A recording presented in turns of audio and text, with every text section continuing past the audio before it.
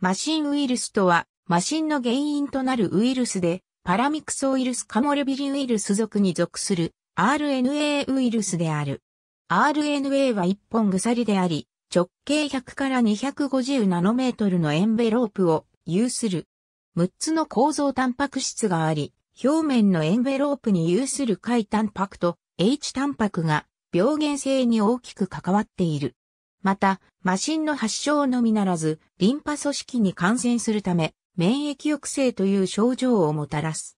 脳内に潜伏して変異を起こして、亜急性硬化性全脳炎の原因にもなり得ることが知られ、変異したウイルスをスプウイルスという。遺伝子解析により24種類の遺伝子型に分類される。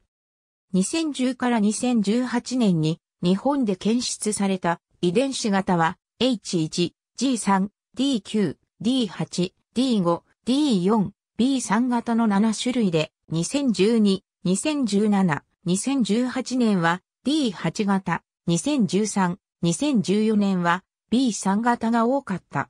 熱、紫外線、酸、エーテルで容易に不活化され、空気中や物体表面での生存時間は短い。牛液ウイルスを起源としていると考えられている。人に感染するマシンウイルスの出現時期について、ロベルトコッホ研究所などは、ゲノム解析や感染を広げる都市のユーラシア大陸における形成時期との関連から、紀元前6世紀と推測している。ありがとうございます。